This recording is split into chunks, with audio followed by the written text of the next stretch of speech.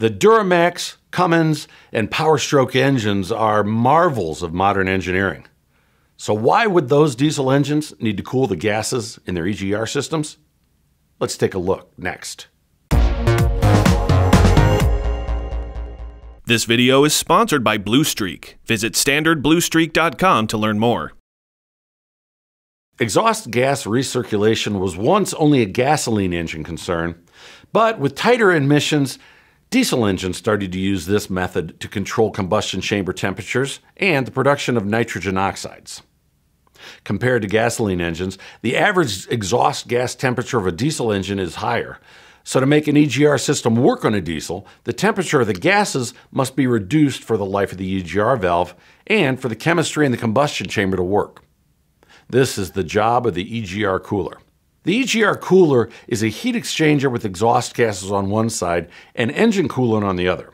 Inside the cooler are tubes and fins for the coolant to increase the surface area and improve thermal transfer to the exhaust gases traveling through the cooler. Seems simple enough, right? Well, unfortunately, an EGR cooler can become blocked with carbon and soot from the exhaust gases. When this happens, the cooler may not flow the same, and the deposits will prevent the transfer of heat in the exhaust gases to the engine. Late model diesel engines may have a sensor to measure the temperatures of the exhaust gases coming out of the EGR cooler.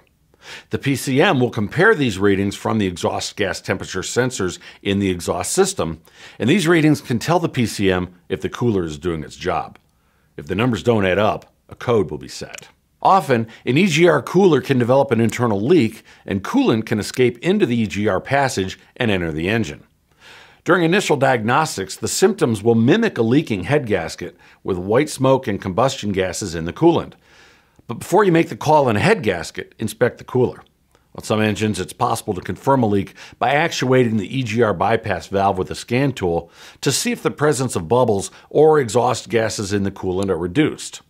Also, in the service information, there might be a procedure to isolate and test the cooler for leaks. I'm Doug Kaufman. Thanks for watching.